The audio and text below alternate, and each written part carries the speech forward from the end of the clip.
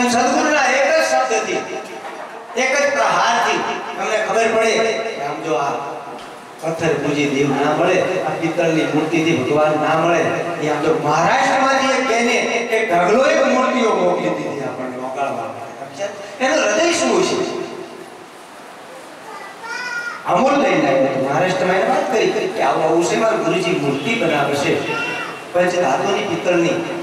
એમને ઘરે આટલો આખો ભેળો તો એમને વાય મોકલી દીધો તમે જોઈ લો તમારી જિ- જિગરીનો ચાલ એવો ભગવાન મોકલી દીધો અને એ વગાડી રાખવાનો સ્વાદ બતાય એ રાખવાનો નથી એ ભગવાન ના હોય. ભગવાન ક્યાં હોય હૃદયમાં જો તપાસીને છુપાયેલો ખજાનો છે લઈ લે સદગુરુની સારામાં ભેદ સાનો છે જેને હૃદય જોયું હોય એને હો બીજા કોઈને નહીં બીજાને વાત નથી બીજાને બહુ વાર લાગે જેને હૃદય જોયું હોય ને એને ખબર હોય બીજા કોઈને ના ખબર પડે આંખ જેની મળી ગઈ હોય, આંખ જેની ખુલી ગઈ હોય, એની વાત છે.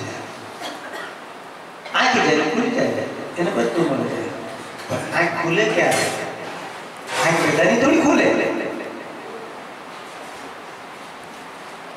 તમે બધાને પૂછું, તમારે સ્વર્ગમાં જવું છે સ્વર્ગમાં? હા, તો સ્વર્ગમાં જવું એ આગળ ઊંચી કરો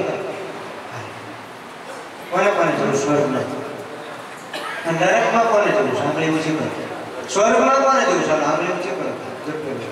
એ જાય જવું હા બોલો બોલો હા નરકમાં કોને જવું છે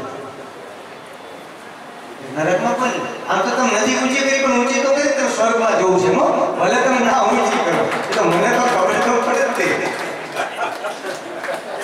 ના ખબર છે બાપ વગર ઊંચી ના થાય ન કરી તમે જવાની દિશા તો એ સ્વર્ગમાં જ છે અને તમે ટપાલમાં લખો જોજો કે કરશનભાઈ રામજીભાઈ ફલાણા ફલાણા સ્વર્ગમાં ગયા છે ભગવાનને ગમ્યું તે ખરું પણ અમને ગમ્યું નથી આ એક લેખી લખ્યું તમે પાછા તમે ટપાલમાં લખો છો ને કે ફલાણા ફલાણા કરશનભાઈ ફલાણા ફલાણા સ્વર્ગમાં ગયા છે એ ભગવાનને ગમ્યું તે ખરું અહીંયા પ્રશ્ન વિરામ કરો છો ઘરના બધા કે અમને ગમ્યું નથી